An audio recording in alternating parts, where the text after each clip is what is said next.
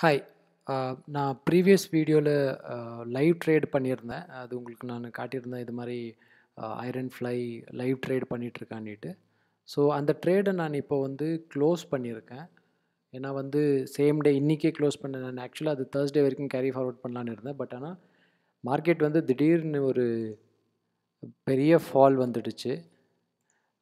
From thirty eight eight 38,850லிருந்து திடீர்னு இன்னும் இன்னும் போயிட்டு தான் இருக்குது thirty eight one hundred almost 800, 700 points கீழே வந்துடுச்சு பேங்க் நிஃப்டி.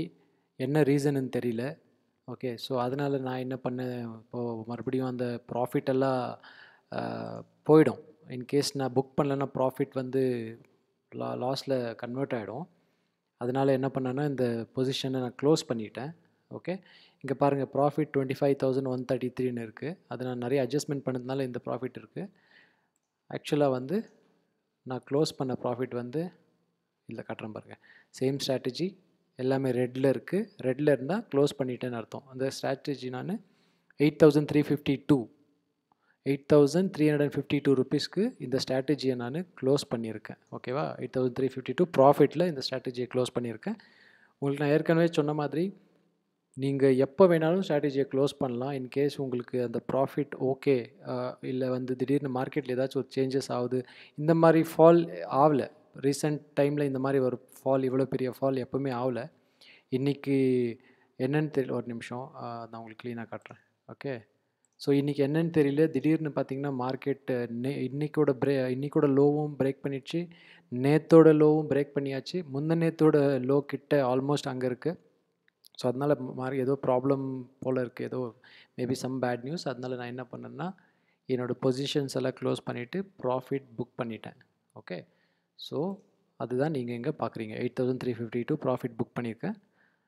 இது நான் வந்து தேர்ஸ்டே இனிஷியேட் பண்ணது இது இந்த entry. So Thursday Friday, Saturday இல்லை சண்டே இல்லை Monday, Tuesday. So four days.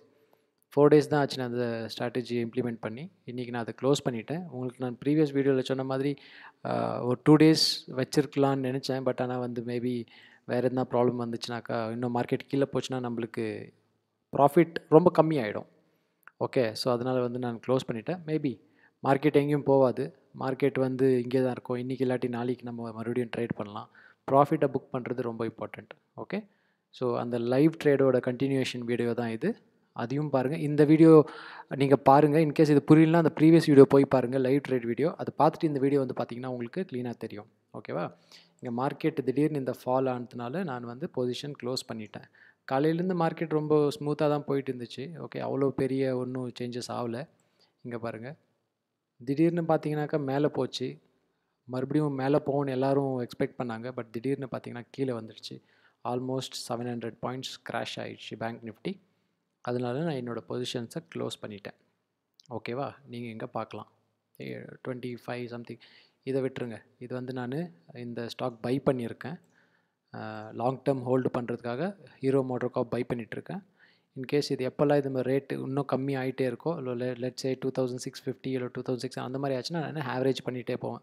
Extra by பண்ணிகிட்டே இருப்பேன். ஓகே. இது நான் லாங் டேர்முக்காக பை பண்ணிகிட்ருக்கேன் மேபி பார்க்கலாம். இது நான் எக்ஸிட் பண்ணுறப்போ மேபி உங்களுக்கு நான் எக்ஸ்ப்ளைன் பண்ணுறேன் ஓகேவா?